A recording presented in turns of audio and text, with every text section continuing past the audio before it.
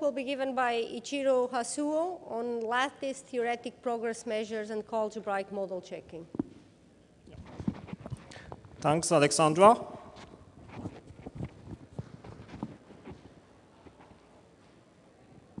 Okay, uh, let me slowly start. So this is the joint work with uh, Shunsuke Shimizu, who is there, who is my uh, master student, and then our collaborator, Corina Cîrstea from University of Southampton. Okay, and uh, uh, in this work, the main contributions are these two. But uh, let me start out with something uh, simple, something you are uh, very familiar with, namely invariants and ranking functions. Okay, so this is the, uh, the probably the most basic setup for model checking. And then you can think of LTL specifications like everywhere P, which is the greatest fixed point, or eventually P, which is the least fixed point. And then for establishing those uh, temporal properties, fixed point properties, so for the greatest fixed point properties, you would use something called invariants. Like uh, I just put the rule here, but it, so it just says that I, this I is an inductive invariant that indeed witnesses what we want. Whereas for least fixed point properties, something like eventually P or even termination in context of program analysis, uh, you would use uh, ranking functions something like this, the omega valued uh, function that decreases. Okay, the question now is, so these two uh, proof techniques, although the goals, greatest and least fixed points, they are dual to each other, they, they come in quite different flavors. And uh, the question, sorry, the, the question is, how comes this difference? How come uh, they look so different from each other. And uh, it's nice to take at this moment a foundational view. So these two are the very well known, are they, I don't know. Are they practicing applause or what? Uh, so, okay, so uh, so let's look at this lattice theoretic foundation. So let's assume that L is a complete lattice and F is a monotone function. And then there are these two are well-known theorems. One is Knaster-Tarski, in which the least fixed point is the least, the least, oh yeah, oh yeah. The least fixed, prefixed point, while the greatest fixed point is the greatest post-fixed point. But the, it's nice that these two characterizations give rise to those proof rules. So like, if you find a prefixed point, then you are sure that that's above the least fixed point, and the same here for the greatest fixed point. Okay, and the other characterization, uh, the, uh, what we call, what, what, I would call the Cousot-Cousot one, uh, it's an inductive construction. So for the least fixed point, you would start with the the, the, the bottom of this complete lattice, and then you uh, keep applying this function f, possibly transfinitely. And then the theorem has it that it eventually stabilizes, and then it converges to mu of f. And the same for the uh, greatest fixed point, but you start with the top element.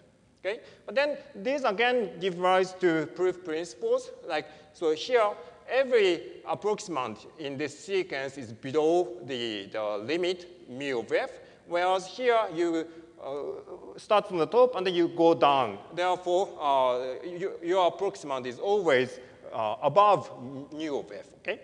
And uh, so we've, uh, this results in four principles, but then for the purpose of verification, actually, there are only two uh, which are relevant to us because in verification, after all, we are looking for uh, under approximation, uh, sound approximation from below. Okay, so for uh, upper or lower, it depends on the definition of order, but anyway, so these two are the only relevant ones.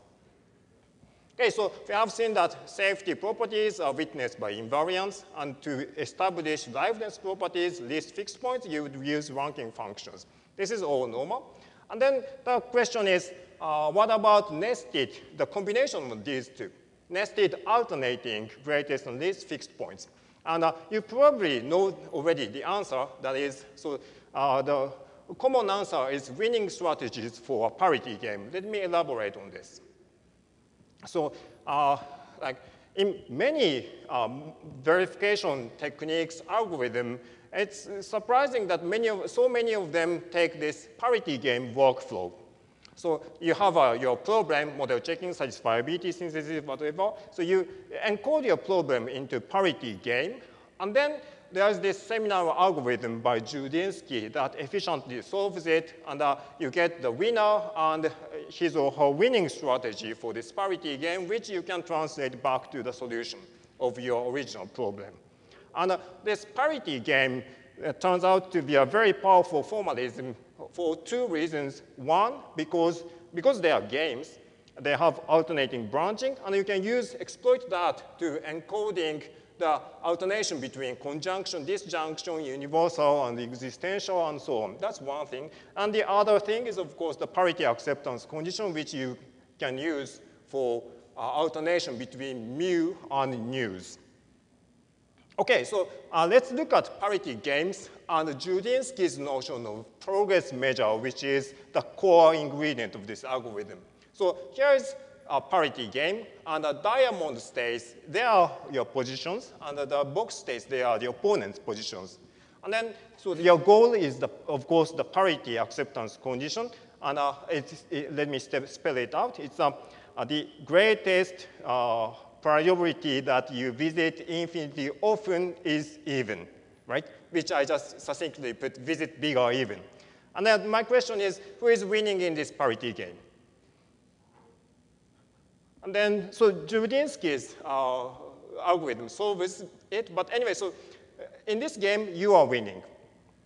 Because uh, by taking this uh, strategy, you can force the current state to be either in this loop or in this loop. And in any case, you win because in each of these loops, the greatest priority that you see is 2, an even number. But this uh, informal argument, how can we put it in mathematical rigorous terms? That's where this Jurdziński's notion of progress measure comes in. So it's actually, it's like, like, in, like with ranking functions, it is an assignment of such numbers to each state of this game.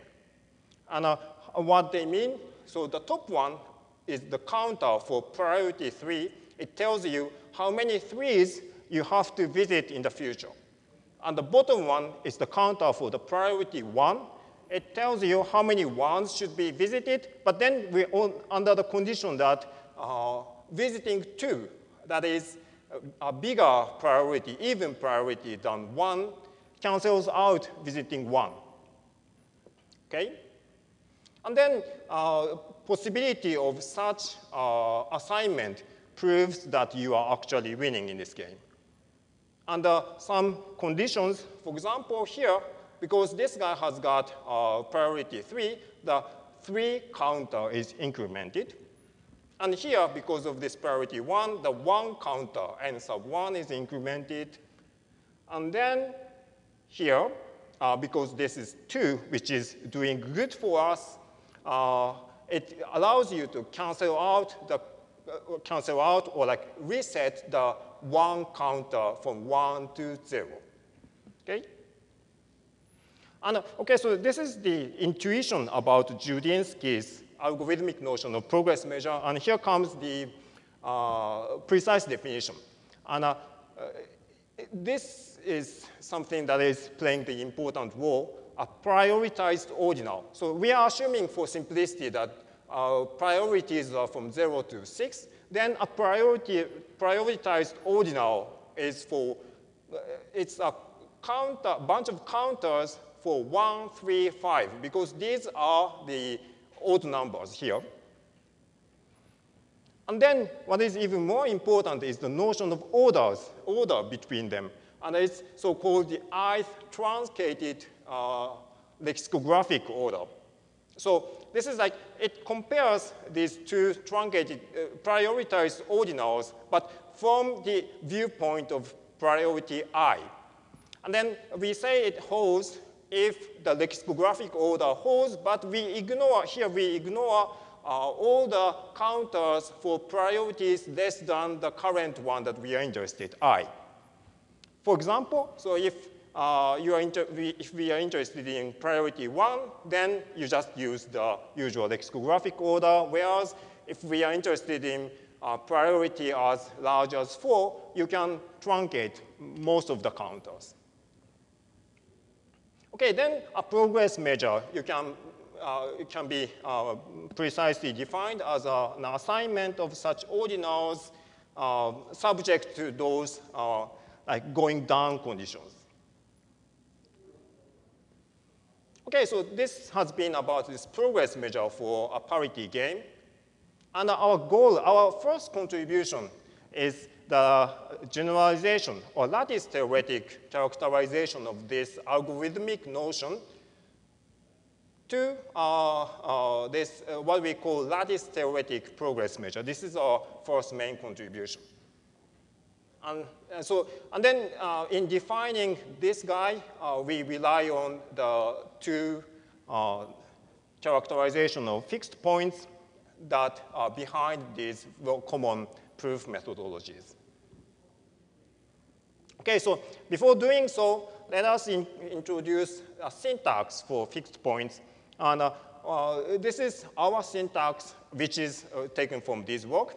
Equational systems, we use equational systems. So like it's a bunch of equations. On the left-hand side, you have variables, they are naked. And on the right-hand side, you, have, you see monotone functions. And each equation is annotated with mu or nu, uh, of course, because uh, that they tell us uh, whether we are interested in least or greatest fixed points. And uh, okay, so it should be straightforward to work out, it, it is straightforward to work out the correspondence between this presentation and the usual textual mu calculus like uh, presentation. But what is important here is that the order of this equation matters because as you solve this inner equation first in the mu calculus, we solve the uh, top equation first. But anyway, okay, so then here comes our definition of progress measure for such an equational system. We restrict to this form for presentation. Okay, so a progress measure, it's a, a witness, like an invariant or ranking function. It's given uh, by such data. It's a bunch of uh, approximants, which are elements of this complete lattice. And these approximants are indexed by these ordinals, counters. So, uh, so we have four uh, components, and these are e for each variable. And uh, these counters are for each of these mu variables. And then this data is subject to these three conditions. The first one is monotonicity. It, it just means that if, if the counter is bigger, then you must go up. But this bigger in the sense of this truncated lexicographic order. And the second condition is mu variable, or a condition of mu, mu variables. And then, so this we derive from this Cousot-Cousot characterization. So uh, as in here, we have to think of the base case. We start from the bottom if the counter is zero, and then step case that uh, essentially takes, uh, applies f once. And then we also take the limit case for limit ordinals. And then finally, for mu variables, sorry, for, for nu variables, we have this condition, which essentially uh, derives from this Knaster-Tarski uh, characterization. By the way, it's important that, okay, so the, the uh, an important role here is played by these ordinals and truncated lexicographic order. And you see that, like, uh, for example, here, when we are dealing with priority two, whatever for priority one is not important. Therefore, you can arbitrarily change, modify the counter for priority one because it's less important. You don't care. Okay, so this has been the definition. So it's uh, progress measure is such data subject to these conditions in which uh, we see these, we saw these conditions derived from Cousot-Cousot theorem and Knaster-Tarski theorem. and uh, this truncated notion of lexicographic order plays an important role. Okay, and this is our correctness result. We have soundness. This progress measure witnesses or under-approximates the solution of such equational system. That means that each approximant is below the solution. And then uh, there's also a completeness result, and that says that there's a progress measure that achieves equality here. Okay? And then we complete this table. And uh, so uh, what we expect is uh, a bunch of, like a lot of potential applications of this lattice theoretic uh, notion of progress measure, which is a generalization of this algorithmic notion. For example, in theorem proving or proof assistance, you could uh, use it as a proof rule and uh, another thing is like uh, there are, in the context of program verification, of course, there are a lot of work on symbolic synthesis of invariants or symbolic synthesis of ranking functions, let's say for termination. But then, given this notion, we can uh, naturally think of symbolic synthesis of progress measures for nested or alternating fixed point uh, specifications. And uh, we, we also expect this, but okay, so the last application is generic co-algebraic model checking, for which uh, I'm gonna spend the last minutes of this talk on. So this is our second main contribution. So coalgebra, maybe you know it because uh, Alexandra, I heard that she gave a wonderful uh, introduction talk in the mentoring workshop, but it's uh, categorical abstraction of state-based dynamics. Like, like X is the state space and C is the dynamics. And this functor F can be taken variously. And then uh, different F uh, models, different class of dynamics like finite automata, LTS. You can also think of uh, probabilistic systems and so on. Okay, and then coalgebraic modal logic is essentially the coalgebraic generalization of modal logic. Then here, like modalities are introduced in a uniform way by so-called uh, predicate liftings. And then this covers uh, rather surprising uh, variety of examples, like usual Hennessy-Milner logic, like usual modal logic, of course, or like graded modal, graded modal logic, where you can talk about in at least k many successors, blah, blah, blah, and so on. And then we can equip uh, this logic with fixed points in the form of equational systems that I have talked about. Then the first class, our, the first class of our contribution is uh, these ones. So we adopt the notion of lattice theoretic progress measure for this model checking program, problem. And then this is the notion of a progress measure, and then it witnesses the truth value of such an this is a fixed point formula interpreted in this coalgebra. And this works for an arbitrary setting. So the x can be infinite, this truth value can be continuous, and so on. But then uh, if we restrict this work to this result to a finitary setting, then we actually get a model checking algorithm. And it's a, uh, it's a generic one that works for, let's say, graded logic, for Hennessy-Milner logic, for neighborhood logic in a uniform way. And uh, uh, we, have, we also have a complexity result that is exponential only in alternation depth, which is typical complexity in many um, model checking algorithms. Okay, and then the second class of contributions, it, it, this slide is actually for, mostly for coalgebra specialists, sorry. But uh, so by linear time, I mean linear time LTL as opposed to CTL. And uh, it turns out that linear time behaviors are more challenging to model for coalgebraic uh, uh, techniques. And then we uh, take this well-established uh, approach of moving to a Kleisli category. And in this work, we focus on non-deterministic branching. But we, the probabilistic branching should be easy, and we are working on that. And anyway, so again, we have the notion of progress measure that witnesses the truth value of such a fixed point formula in a system with additional non-deterministic branching. But then now it's uh, uh, the progress measure is given by a data like this as before, but together with the run tree, it's a F coalgebra. And then to get the, this decidability result, so in a finitary setting, uh, the, the truth value is actually decidable. But uh, to get the decision procedure, we, should, we had to uh, establish this small run tree theorem that, this, that, that bounds the size of possible witness.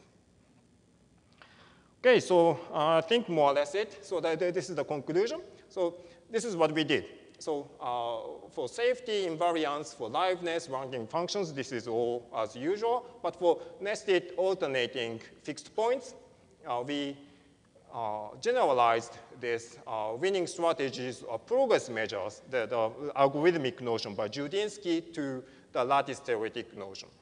And here are the potential applications of this uh, general notion, and also it translates to a large part of our future work.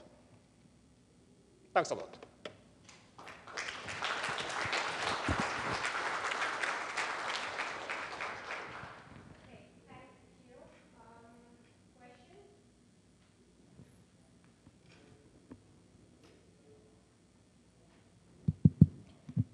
I wonder if you have considered um, applications of your lattice theoretic progress measure.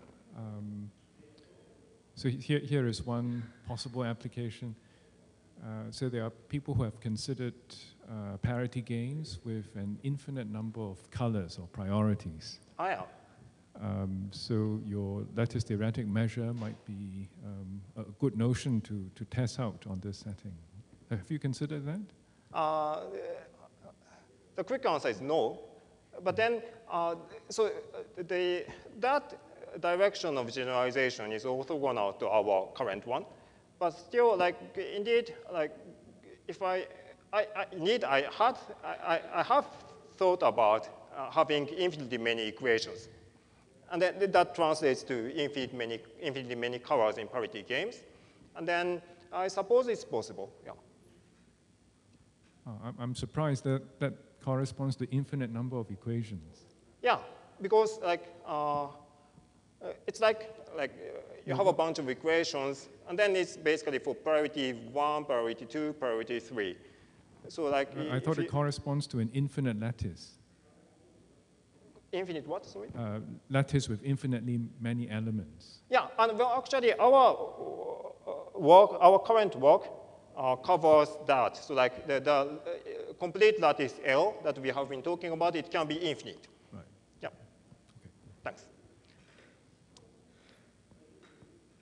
So uh, I missed the uh, first uh, part of the talk, so maybe this is why I'm confused. Uh, when I okay. see safety and liveness, I tend to think the fixed point the other way around, least and greatest. Yeah. Why? Uh, I don't know why you'd expect so, but. uh, for safety, you want to compute the, uh, the least fixed point of the, uh, the transition system, and you want to see that uh, content in the, uh, the safe set. Whereas for the liveness, you want to compute the greatest fixed point of the system, and you want to know that that gives you the, the possible infinite traces the, the system has, and you want to check that is contained in the property? Yeah, well, actually, uh, when I practiced my talk, indeed my uh, program, program verification colleague gave the same comment. And uh, well, the thing is that uh, uh here's uh, like some like kind of logical duality involved. And like depending on from which side you are looking, the order is reversed. But then I can assure you that what, is, what I'm showing here, what I'm showing you here, is something very standard. So you can, like, I mean, those invariants, I mean, like least and greatest fixed points, you can just take the opposite. It doesn't harm. Yeah.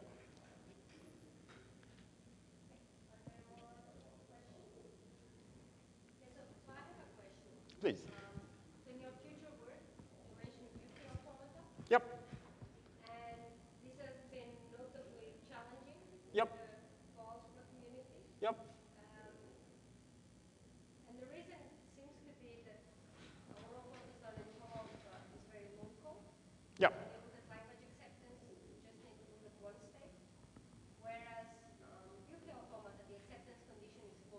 Yeah, indeed. So do you see that, you see an abstract? um, Yeah. So, so it's, it's forthcoming, and we have actually written down something.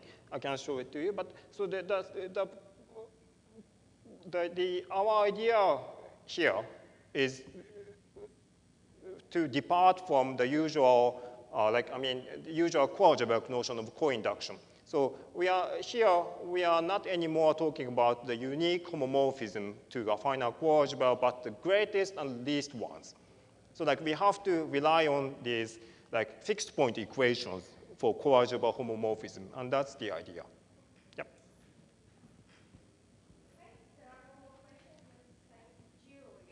Thank you.